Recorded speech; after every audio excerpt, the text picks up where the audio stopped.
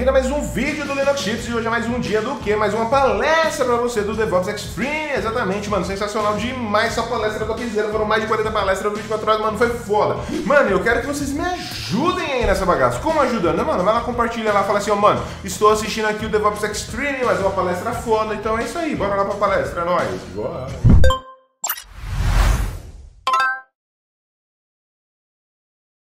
Mano, sem mais delongas, Gil, olha só tal que vai começar no tempo, mano. Você acredita nisso? Começou, né? Começou. 30 minutos. Mano, boa. Ah, tá, tá 35 minutos, só que agora, às 4 e 5, era o respiro, porque eu sabia que ia acabar precisando. Então, o Júlio, que vai vir depois de você, vai começar no tempo. Se você. Boa. Depende de você também, né? Daí agora você fala, não, vou ficar uma hora aqui, que. Cara, eu vou falar que acho que eu vou dar trabalho pro pessoal da Libras aí, porque eu falo rápido, mas vamos ver se consigo colocar no tempo. Show, show de bola. Boa. Gil, mais uma vez arrebenta aí, lembrando sempre o Giordano, sensacional demais, dividindo lá comigo o mutirão DevOps, mano, todo o esquema, elaborando cada detalhe junto comigo, o maluco arrebenta demais. Só que ele é organizado ou não, por isso que o, DevOps, o mutirão tá indo para frente, graças ao senhor é. Jordano. Boa, Vem, Jordano. Tá o palco é seu. Compartilhe a sua tela aí. Você vai ter tela compartilhada. Beleza.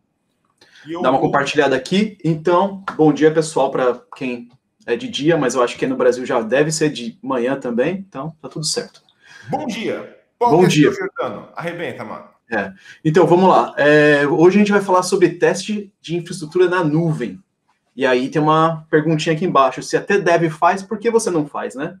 Quer dizer, não é tudo dev que faz, mas tem dev que faz. Então, eu acho que você deveria fazer também testes. É, vamos lá. Então, o que, que a gente tem aqui? A gente vai falar um pouquinho sobre os tempos de outrora, né? Coloquei aqui para uma, uma, piada com o Rafa, porque ele gosta de falar pra, palavras difíceis.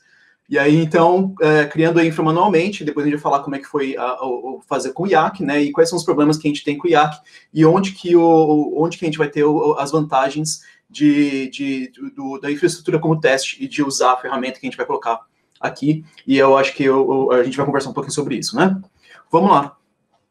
Bom, beleza. Na minha época, eu comecei lá em 2000 e 2007, eu acho, cara. Então, quando você criava estrutura, você criava infraestrutura, infraestrutura por manualmente, né? Tudo era manual. E quando nasceu o cloud, o que, que você tinha era, você tinha para AWS, você tinha o AWS CLI, né? Que era que tinha execuções em cima de, de, do Boto, né? Não sei se vocês lembram disso. Então você tinha o, o, o você tinha sujeito a erros porque o CLI nem sempre funcionava. Você tinha que implementar coisa em cima. Tem gente que fazia algumas alguns scripts em bash em cima daquilo para conseguir implementar alguma coisa. Aí você tinha também uh, o web browser do, do, do cloud, né? Então vamos falar um pouquinho sobre a AWS nesse caso. O AWS é, é, ele, é, é, ele, tem, ele tinha o, o, a UI do, do browser dele, né, a interface dele era bem ruimzinha naquela época, né, e também não é muito funcional para você ficar clicando em todos os lados daquela, da, daquela interface para você conseguir é, é, é, criar uma infraestrutura, né, não faz tanto sentido. Mas pelo menos a visualização era boa do que você tinha, né e, tem a, e, e, tinha as criações por API, né? Então, API era tipo, você fazia a chamada, criava o seu próprio código para criar aquilo, e quando você criava, criava o seu código para isso, o que você tinha? Você tinha muito trabalho para criar o código, era difícil de reutilizar e tinha muita possibilidade de você ter bug, né? E você não tinha uma padronização entre todas as empresas para fazer alguma coisa da mesma forma. Então, vamos lá. O que aconteceu? Aí a infraestrutura como código chegou, IAC, né? Chegou. E aí, o que, que, que, é isso? Como que é bonito, né? Bonito é isso, do jeito que você está vendo aqui, né? Ou aqui, isso. É, é você cria uma VPC inteira com, basicamente, 10 linhas de código. Uh, então, o que, que a gente tem aqui? A gente tem a criação dela, mas aí o que, o, o que a gente começa a ter de problema, né?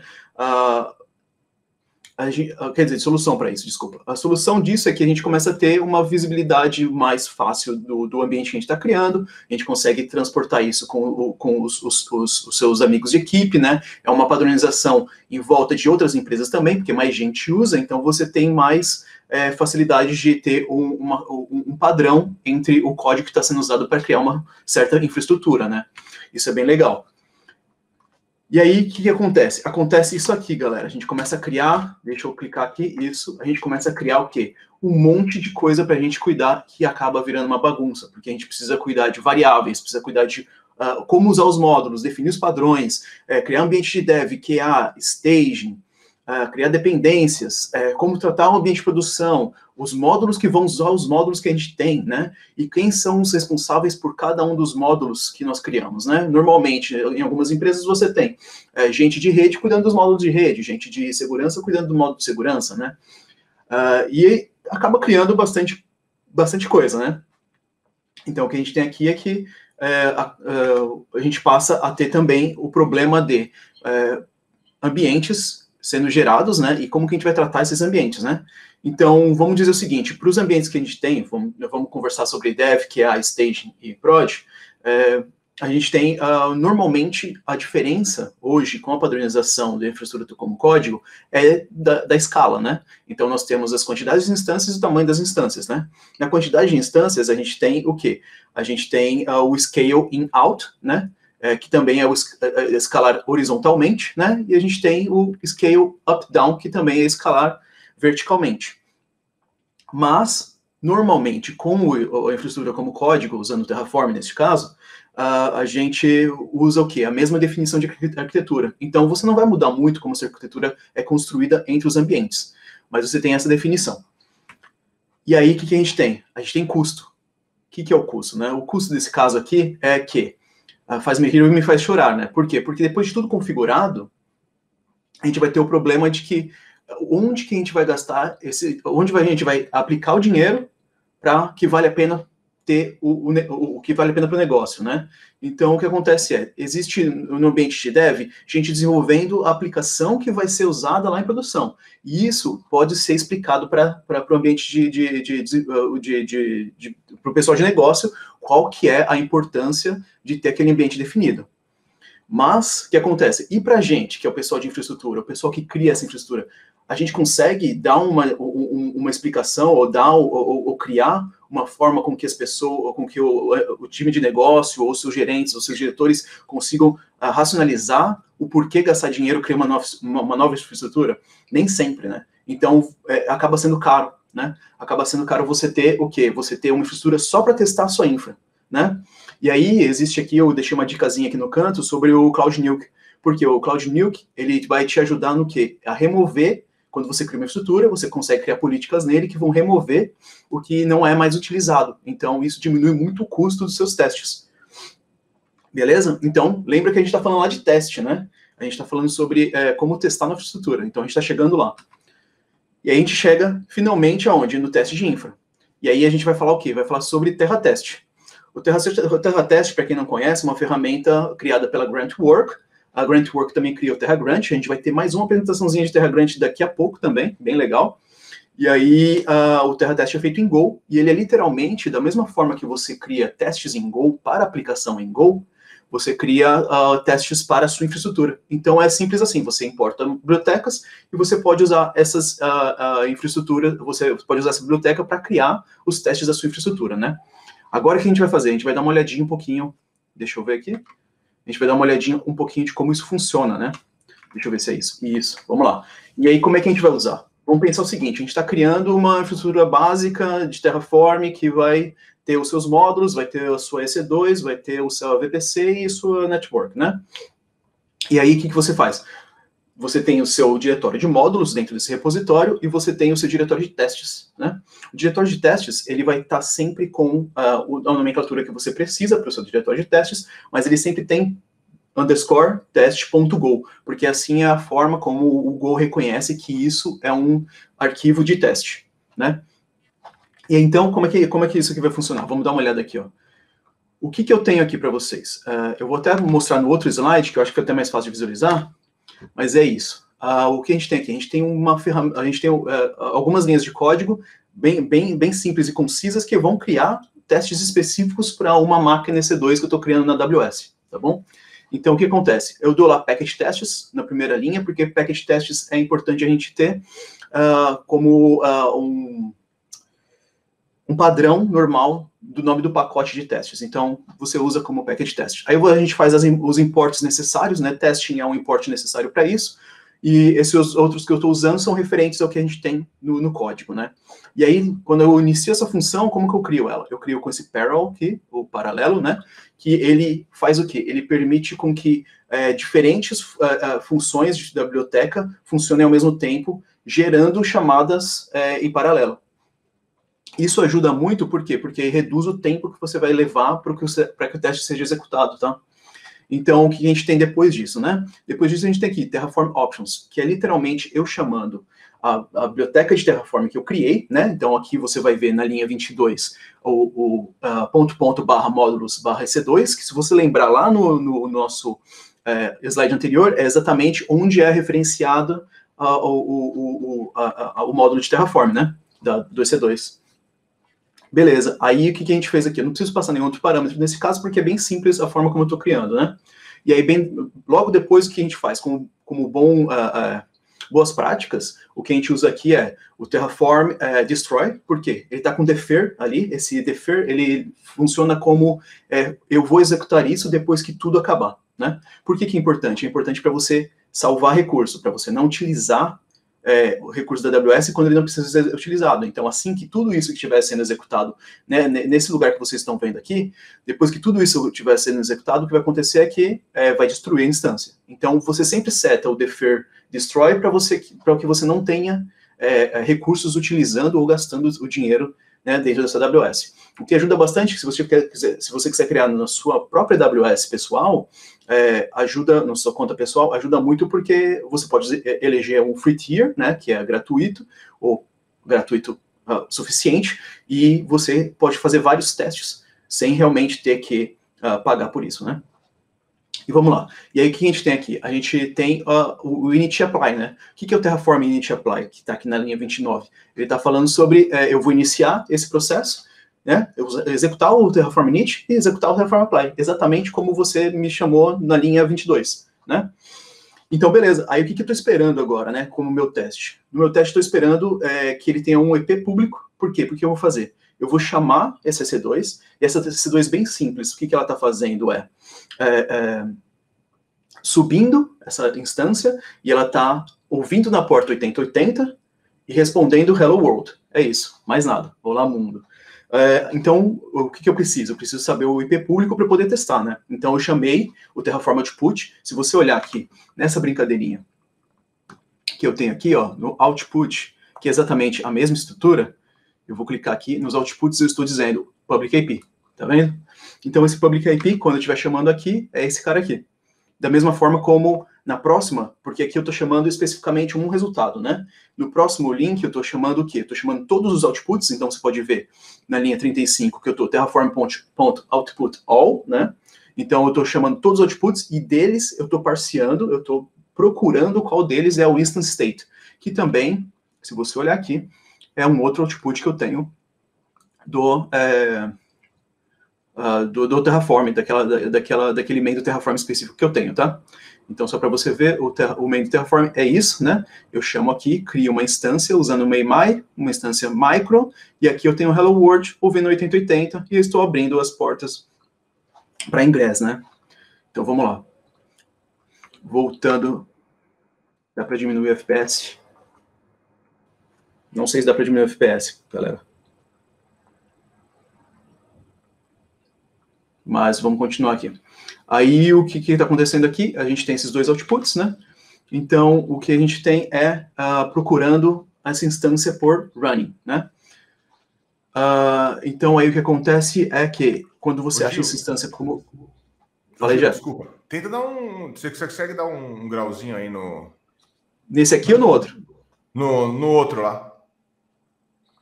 Eu acho que esse é. Ctrl quê? Ctrl o scroll do mouse, eu acho que vai. E foi? Aumentou um pouquinho? O chat melhorou aí? Mais um pouquinho? Aumentando um pouquinho esse daí. Aí, já deu uma melhorada já. eu vou, eu vou baixar Valeu, esse cara aqui por enquanto, para vocês poderem ver como é que tá aqui, ó. Então, output, public IP, né? E aqui a gente tem instance é, é, a, a, do public IP também, né? Ah, desculpa, esse description aqui foi porque eu copiei e colei, pessoal. Não, não, se, não se preocupa com isso, tá? E aí o main é exatamente isso aqui, ó. para vocês lerem. Eu estou puxando a região a US East 2, por quê? Porque é mais baratinha. Aí, o que, se acontecer alguma coisa, eu pago menos. Uh, aí, o que acontece aqui? A resource é, é da AWS puxando um MMI, é, gerando um, um, usando uma instância type uh, micro, né? E aqui eu estou mandando ele fazer um hello world no index.html e exportando 8080 aqui para index, né? Então é isso que é o meu main, é isso que é o meu output, tá? Só para vocês conseguirem acompanhar.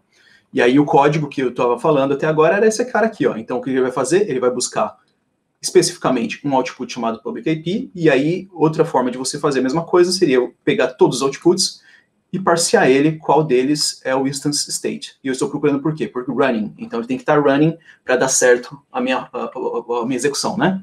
E aí o que, que eu faço depois no final? Eu falo aqui, ó, você vai ficar printando isso aqui para mim, né? E eu quero usar esse HTTP helper que está lá em cima. Então você vai olhar aqui HTTP helper, que é um módulo do, do, do TerraTest, tá? Que ele vai te ajudar a fazer o quê? Você passa a URL para ele, que é o quê? É, é HTTP, aí o, o, o IP público 8080, né? E aí, aqui você está esperando o quê? Um código 200 de resposta, né? Você está procurando a string hello world. Você vai executar 60 vezes com um timeout, com, uh, com um retry de esperar 10 segundos. Então, é isso que significa, tá? Então, para a gente dar uma olhada como é que tá, vamos lá. Deixa eu subir isso aqui. A gente vai executar isso. Você viu que eu já executei anteriormente para validar, tá? Então, o que eu vou fazer? Eu vou executar isso aqui de novo, para vocês verem, uma tela maior. E aí, voltando aqui no nosso link, o que, que ele explica aqui? Ele explica como você vai executar o teste. Porque você pode criar diversos testes dentro desse, desse, desse, desse diretório, tá? E cada um desses testes você pode é, é, dividir eles em diversos arquivos. Mas se você roda só uh, uh, diretamente teste "-v", o que vai acontecer? Ele vai procurar todos os testes que tem naquele diretório. Então, se você tiver 100 testes, ele vai executar 100 testes, né? Então, o que acontece é, com menos run, o que, que ele vai liberar para você é que você pode executar exatamente a função que você quer chamar, que nesse caso é o nome da função que você vê aqui, ó, terra, te, teste, terraform, AWS Hello World Example, terra, uh, teste, terraform, AWS Hello World Example. E aí você passa um timeout.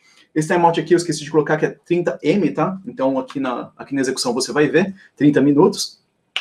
Por quê? Porque a execução padrão do GoTest, ele, ele tem como timeout 10 minutos, e nem sempre isso é suficiente para executar uh, algumas ações de infra, né?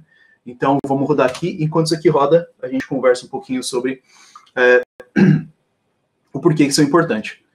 Então, o que a gente conversou?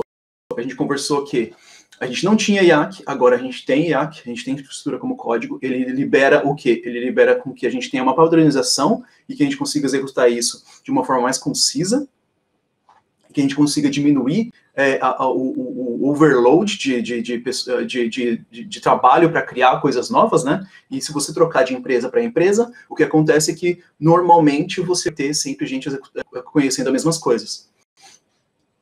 Uh, então, quer dizer que uh, você consegue pular de empresa em empresa e ter o mesmo conhecimento, poder já sair trabalhando, né?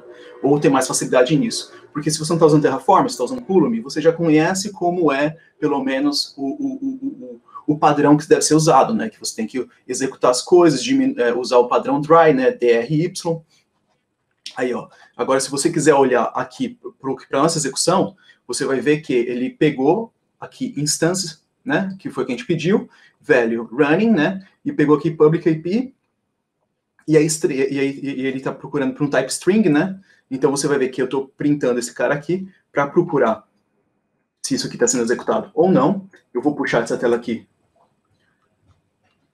para a gente ver. Deixa eu copiar isso. Se eu conseguir.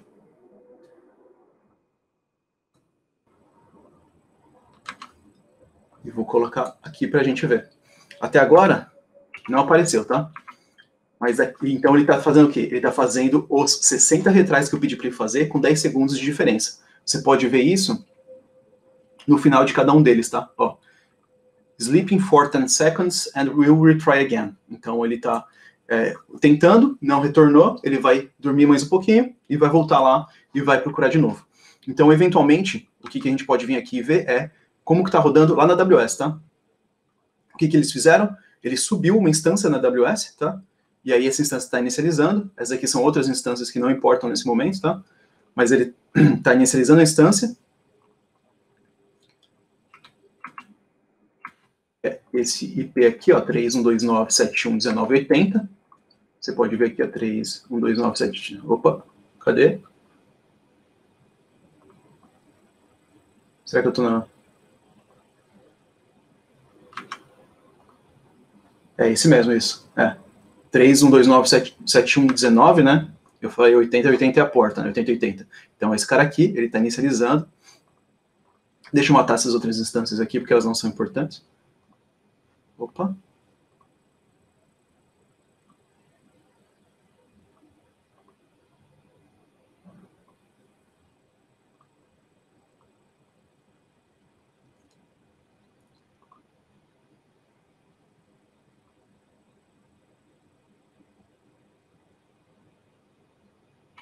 Então vamos ver o que aconteceu aqui. Uh, a instância já foi uh, parada, né, enquanto estava olhando. Então ela foi uh, parou a instância, ele procurou para ver se tinha o retorno daquele string. A gente, a gente não teve tempo para bater para bater nela e ver isso acontecendo, mas ele vai retornar dizendo se teve o resultado, falando se ele achou a string que ele procurava se a instância estava running ou não. Né? E você vai ver que aqui, como deu um defer destroy, é próxima coisa que ele faz depois dele conseguir executar ou é, bater uh, o número de retries que, que, ele, que ele pediu. Então aí a gente pode esperar um pouquinho para ver isso. Enquanto isso, a gente vê que, que ele, eu, não, eu não coloquei para destruir, mas ele já está ele já tá usando a instância como terminated aqui, tá vendo? Que é aquela 31297119. Enquanto isso, eu tomo um pouquinho de água também.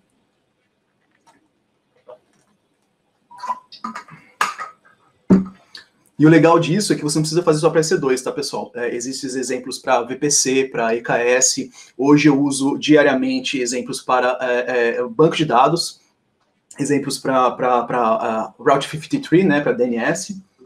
Então, é, não é só com EC2. EC2 é só um dos exemplos mais simples para a gente poder colocar dentro desse, desse tempo aqui que a gente tem, tá? Vamos ver, vamos ver. A instância já está terminada. E aí, uh, o que, uh, voltando lá, o que a gente tem são, é, é, é isso aqui para fazer a execução, né? E aí, eu acho que a gente vai terminar isso aqui e vai conseguir acabar em tempo. Está demorando um pouquinho mais do que esperado para subir a instância, para destruir a instância, mas ela vai ser destruída.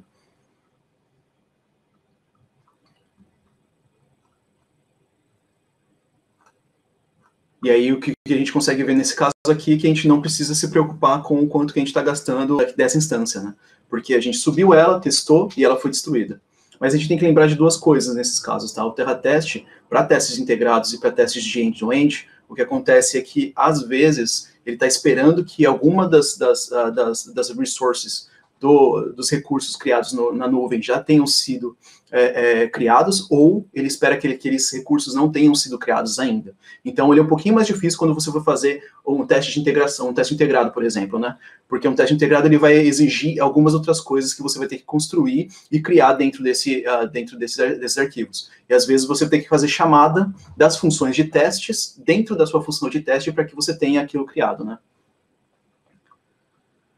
Mas é isso aí. É, vamos ver se a gente consegue ver isso de ser destruído, que eu acho que é o mais importante.